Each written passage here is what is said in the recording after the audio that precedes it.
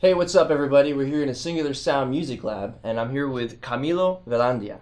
So, do me a favor, tell me a little bit about you and your music.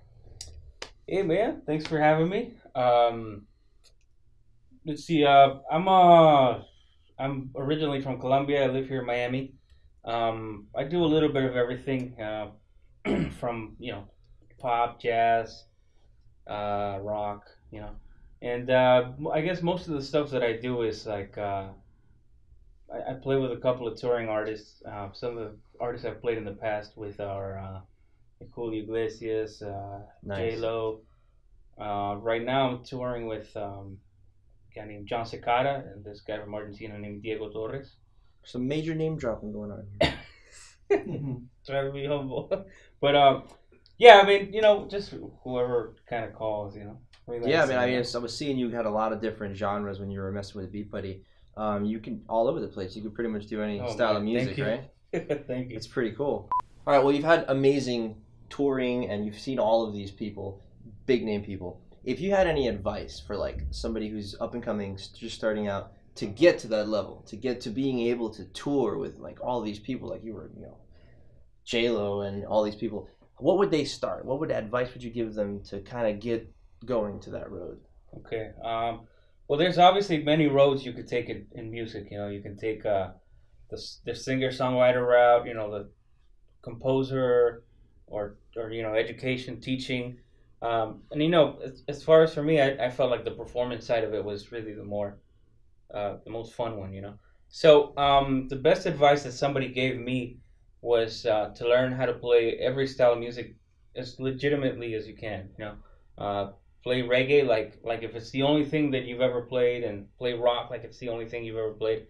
And uh, that's one of the great things about the beat buddy that all of these different styles are available for you and they all sound so you know original. So so good. And you know one of the great things about the beat buddy is before before this i used to practice with a metronome where i would you know uh, i would program a drum sequence and it's it's it's always so robotic And and grueling too. to yeah, program. exactly. Like a, a real drummer doesn't play exactly squared. You know, there's there's certain things that a, you know that a, a live real drummer has that just doesn't.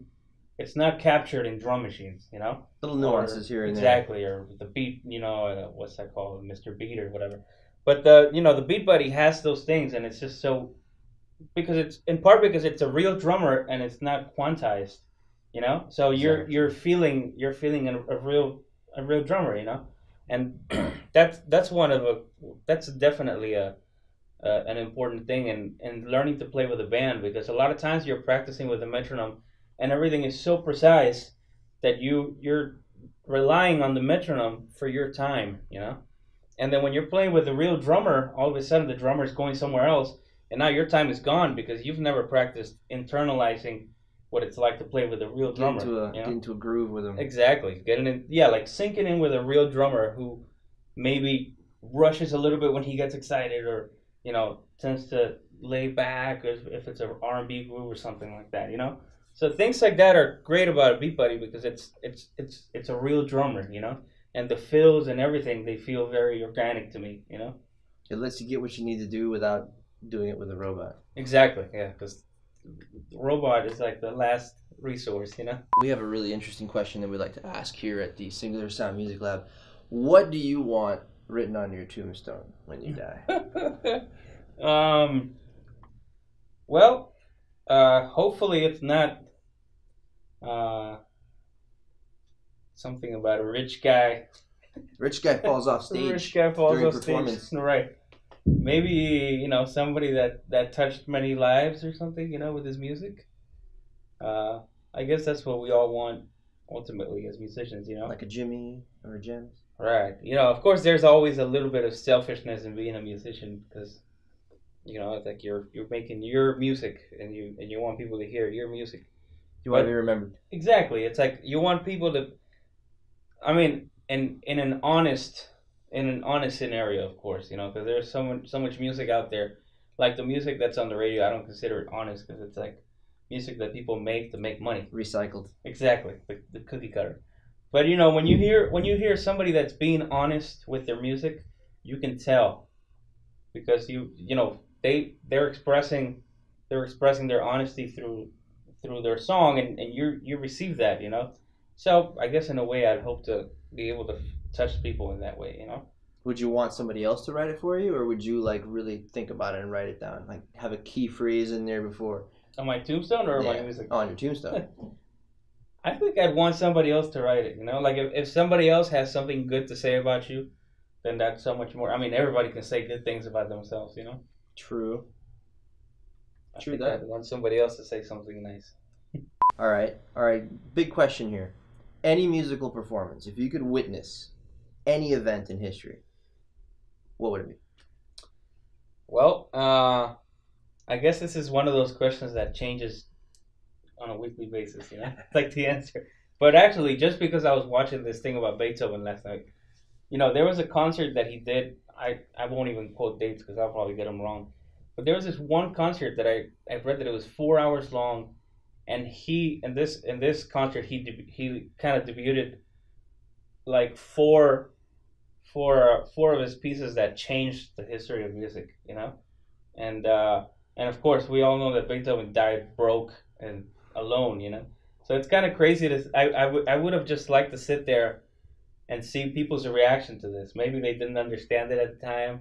Maybe they're like, "What's wrong with this guy?" Witness that crap, you know? moment though Yeah, and then and then like and then knowing that this would then change everything, you know, it's like there's no Hendrix or there's no even Lady Gaga or whatever you name it, you know, like everything was changed by this. It's like a butterfly effect kind of thing, you know. yeah that moment is um there's a little bit of tension in there when it, when you don't know if they're getting it but then they're realizing that this is groundbreaking Exactly. it's kind of like the the marty mcfly moment when he's on stage right, exactly. Excellent. funny, funny thing. Marty McFly. Have you seen? There's a funny thing is that the year that that they were supposedly in in that in that scene of the movie, he had a guitar that wasn't released until like three years later or something. yeah th- So- there was there's so many little easter eggs in that but yeah definitely Hilarious. definitely i know what guitar that is too one of the bb kings i think Right. what what inspires you um in your music like what is your inspiration when you're writing Well, uh, I'd love to sit here and tell you that the sky and trees inspire me, but unfortunately, they don't inspire me musically. But I think a lot of times what inspires me musically is other music. You know, like hearing somebody do something that's kind of out of the norm, but it's just or you know organic. Like it's it's just completely, you know, uh, what's the word? You know, like honest. I guess.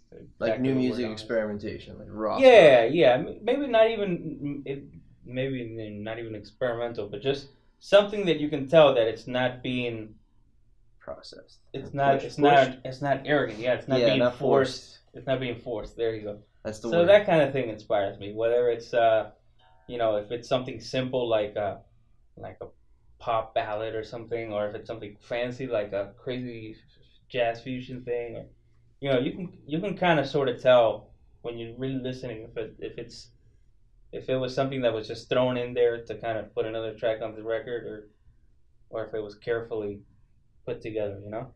Gotcha. What um as a professional, like why would you as a professional recommend or get even get the Beat Buddy?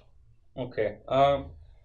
Well, the first reason that comes to my head is I don't know how everybody's schedule is nowadays, but it seems like I don't have time for anything. you know? Yeah. So for me to like sit down on the computer and program a drum sequence, or even even just to take the gear out of my car and set it up to practice, like that just doesn't happen, you know. So the fact that I have a pedal and I can just step on it and it's there, that that alone is a huge, huge convenience, you know. So the time management of not having to actually time call management, somebody. yeah, exactly. Time management is number one. Uh, number two, obviously, there's just so many different styles. Like, and then you know, one of the things, you know, I guess I I, I love jazz and I study jazz, and one of the things that we can always improve, you know, is harmony and time. You know, and, and obviously that we have time with the beat buddy, and there are so many different drum patterns that are in odd time signatures. You know, like he's got five four, five eight, seven four, seven eight. You know, all those things those are the kind of things that we go back to practicing with a metronome. It's like when you're practicing seven four or seven eight with a metronome, you get the clicks and you're just relying on the metronome for the time, you know.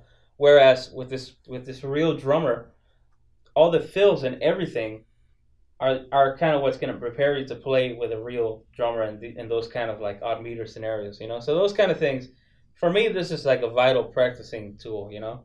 Um, everything from like practicing, you know, developing your time and and developing your time feel and your internal time, all that is, is you know. So you definitely get way more actual practice time in when you're using the beat right as yeah. opposed to any other method yeah and, and, not even just the practice time in but just uh, i guess what you get out of the practice time you know? Because so many times you could sit and practice eight hours but then what did you practice you know?